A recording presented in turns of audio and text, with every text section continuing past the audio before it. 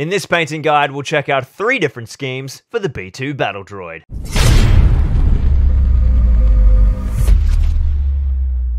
The B-2 Battle Droid is one of the most iconic figures of the Clone Wars. The heavy thud of their clanking advance punctuated by the roar of their mighty arm cannon struck fear into the hearts of even the boldest Republic trooper. Today we'll be looking at three unique painting schemes to bring these mighty stalwarts of the Separatist forces to the tabletop. In our B2 Battle Droid expansion, we get enough pieces to make 6 different droids, including 3 standard troopers, 2 heavy weapon variants, and of course our unit leader. These wonderful sculpts are made from that beautiful new hard plastic, which means we should use plastic cement to assemble them. So trim them all up and follow as per the instructions. Up first is the classic Chrome Dome, the gunmetal killing machine that first captured our attention in Attack of the Clones as they rained down fire upon the beleaguered Jedi forces on Geonosis. For this first battle droid, we're going to apply a smooth, even prime with the Lead Belcher spray from Citadel Games Workshop, but if you don't have this spray to hand, you can just as easily prime with any other surface primer and then apply a base coat of Lead Belcher by hand. The spray does give you a smoother, more even finish that's nice and thin, and it will also save you a little bit of time as well. Up next, we'll go for a heavy Nuln Oil wash applied to the entire model. I actually like to do two passes of this step, applying my wash, letting it dry completely, and then repeating the process to really build up the recessed detail in all of the shadows. There's a lot of beautiful crisp details in all of these droid models, so getting that wash really heavily through those recesses really allows you to make that detail pop. Once that Nuln Oil washes down, you can see all of the beautiful definition in those recessed details, but now it's time to focus on the highlights and really build up the profile of this droid armor. So I'm going to grab some Stormhost Silver, the really bright silver from Citadel Games Workshop, and we're going to dry brush once again the entire model. I'm really focusing here on building up some lovely crisp highlights on all of those hard edges, so I'm going to use a larger brush and dry brush in circular motions all over the model and make sure that I've got really lovely defined lines. You you can do a little bit of toning on the broader flat sections as well, which just creates some brighter spots in the center of those flat regions, which creates a lovely graduated tone between the center, the midtones, the highlights, and of course that recessed detail from the Nuln Oil.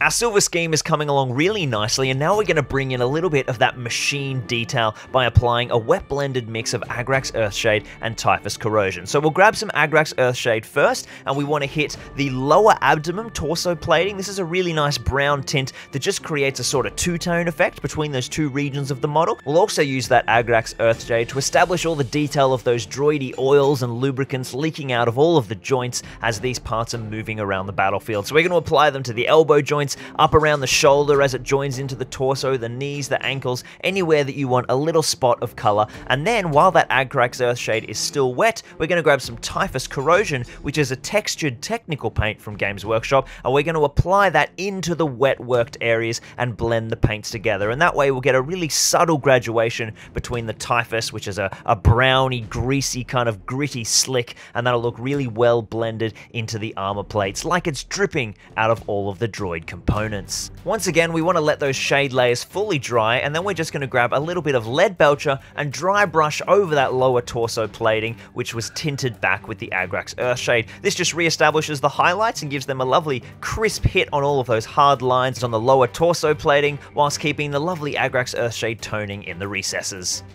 Every B2 battle droid needs his single bright red eye, so I'm using some Bloody Red from Vallejo or Evil Sun Scarlet from Games Workshop and putting a single dot over the eye. I also mixed up a little bit of highlight, brightening that red with a yellow just to make that eye really pop.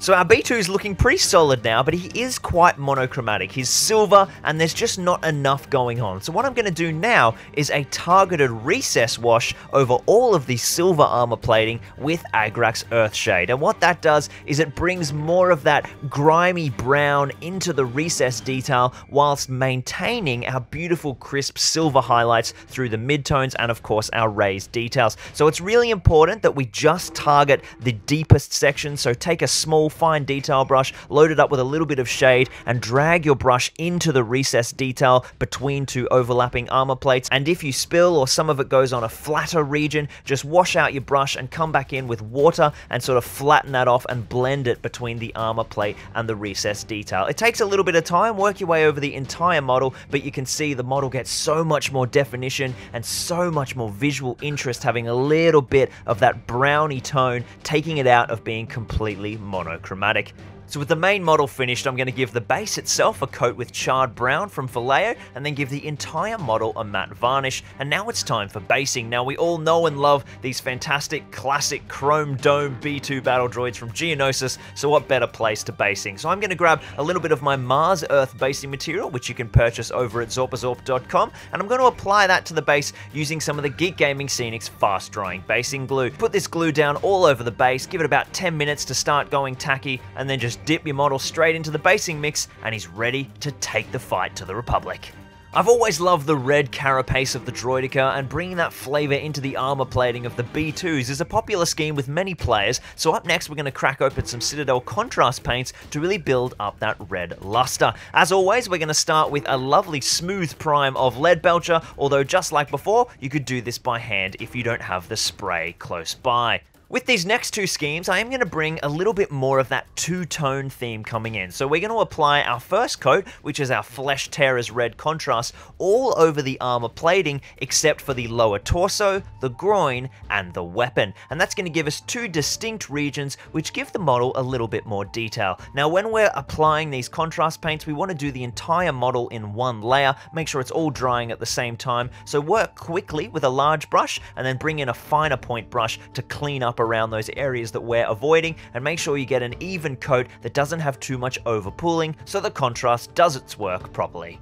Just like with a shade layer, give that contrast plenty of time to dry, and now once again we're going to bring in a dry brushing layer to crisp up all of those highlights, but this time we're going to use something more in vein of our color scheme, and I'm going to go with Brass Scorpion from Games Workshop Citadel. This is a really lovely brassy metallic that has a bit of a red undertone, so it's the perfect mid-tone and highlight to go over the top of our Flesh Tearers contrast. So once again, small circular motions all over that red armor, crisping up those hard lines where armor plates are joining and really gently over the center of flat panels to create some lovely brassy midtones all over the armored carapace. You can see with that dry brush down, the two-tone effect is really coming together. We've got the beautiful red carapace and of course our lower torso and some of the groin is still silver. So what we're going to do now is tone those regions with Agrax Earthshade to keep them in that silver vein but give them a little bit of that lovely grimy look. And then we're going to apply Agrax all over those joints just like we did with the first model and then bring in some Typhus corrosion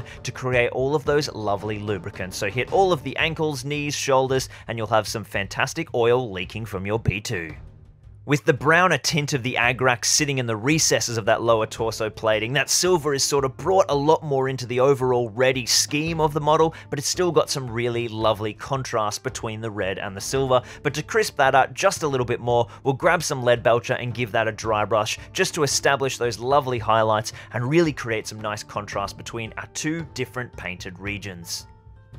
Once again, we'll grab ourselves a little dot of red paint and hit that in the eye of the B2. Make sure you do use a smaller brush for this because you don't want to spill it into the recess around the eye joint. You just want to hit the eye itself and then you can add a little bit of highlight if you want to give it a pop once again by mixing in some yellow. And now I'm going to grab some Storm Vermin Fur and apply that all over the base and then once that's dry, give the whole model a matte varnish. Now I really wanted to go for something striking for the basing materials for this red scheme and I really decided decided that it'd be fun if this kind of ready a droid represented a battalion from Mustafar, maybe defending the separatist leaders as Anakin and Obi-Wan arrive. So I've got some of my volcanic island base ready material, which is a lovely mix of black sands and chunky aggregates, which is perfect for doing Mustafar. Once again, available from my online store at zorpazorp.com. So dip yourself a little bit of glue all over the base and then let that dry for 10 minutes. Dip the model straight in the basing mix and your droids are ready to defend the mining operations on Mustafar.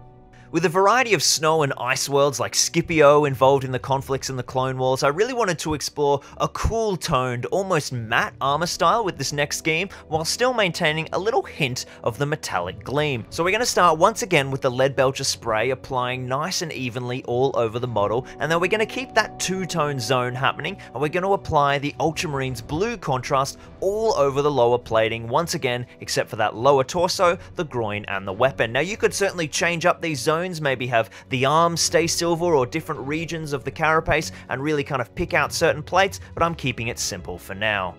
As always, apply this layer in one large pass, making sure that everything's drying at the same time. Apply it with a bigger brush first, and then come in with a fine tip to clean up around the edges of the arm joints, the groin, and there's a few little armor plates over the groin, which you need to pick out in blue, particularly the sides of those plates, but you don't want to get the groin itself uh, tarnished with that blue, and you want to keep that silver. So make sure a small brush to finish it off. Once that Ultramarines blue contrast is completely dry, we're going to grab some lead belcher in the paint pot and dry brush that all over the entire model. Now the reason we're returning to this paint rather than the Stormhost Silver is I want something that's a bit darker, a bit more muted, so I can keep the scheme pretty matte further on, but it still gives us that metallic gleam. So you can get that all over the edges and the central plating, and this really builds up the metallic element of our armored carapace. With that dry brush down, we can really see the raised detail popping on the model, but we're going to accentuate that even further by edge highlighting every single armor panel with some Russ Grey. Now this is a lovely light blue grey, it's the perfect highlight to go over the Ultramarines blue contrast, and by carefully applying lovely little edge highlights on all of the raised areas with a fine detail brush, we really kick up that contrast and really give the model a bit of pop and a bit of life, and it does sort of mute those highlights highlights, or at least take them out of the silver space and push them into more of a matte look. But because we've got that dry brush underneath the paint, uh, and it's all through those central areas as well, it still feels like armor, it still feels like a metallic element, but it's just not as bright and shiny as our chrome and our red look. And I quite like this look for creating a different style of armor. You could even mix and match these techniques by having different regions a bit more matte, different regions a bit more metallic, and that's sort of what we're doing by running this two-tone scheme, keeping our groin and central region metallic. So apply that edge highlight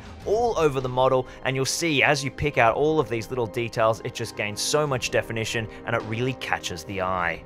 Now with the lovely bright highlights from that Russ Grey, I don't really want the silver regions to be the pop that catches the eye, so I'm going to push them into the dark sort of space by applying the Black Templar contrast all over that lower torso, the groin, and the weapon. And this darkens them, it's even darker than like a Nuln Oil, but we're essentially using it in the same way here, and that makes them really kind of sink into the model and helps those blue layers really shine. Once that Black Templar is finished, we're going to come back with a little bit of lead belcher and give those a dry brush both over the weapon, the gun barrel, and that lower torso, so that they still have that little metallic element, but they're still quite nice and dark. And then we're going to finish off the eye by grabbing a little dot of red and highlighting it up with mixing in some yellow, just to give that beautiful blue a pop. Now you could mix up these eye colors as well. Maybe you want to go a green eye against the blue armor, or mix and match in some way, but I just love the red eye. It's, you know, very HAL 9000, very evil.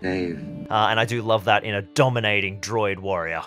Once again, I'm going to use some Storm Vermin fur all over the base rim and then give the model a nice matte varnish. And then we're going to dive into using some snow powder. This is some fantastic new snow powder that we've got on the online store now. I'm absolutely in love with it. Put down some uh, Geek Gaming fast drying basing glue and then dip the model in the snow. You do want to tap a fair bit of it off, but then what you can also do is sort of sprinkle it all over the top. You can put a little thin layer of glue in different pieces, make it look like it's been snowing on the droid as he's fighting in these snowy landscapes. Uh, so it's a really kind of dynamic way to bring some interesting detail and grit to the model uh, that makes the whole kind of model feel really uniform. I, I really like this look and I'm happy with how it's turned out. So there we have three unique but very achievable schemes for the mighty B2 Battle Droid. I'm really happy with how they turned out, and I think the biggest takeaway for me is that a lot of the application process and techniques is very similar. There's a few little different tricks in each scheme, but it's basically the same steps. And I'd love you guys at home to kind of use that process and change it however you like. If you want to bring in a little bit of a green or go for a purple or change the color hue, all you need to do is swap out the pigments, but the process is the same. Try a different contrast paint, try a different highlight accent, mix it up and see what you can come up with to create some really cool B2 battle droids to take the fight to the Republic.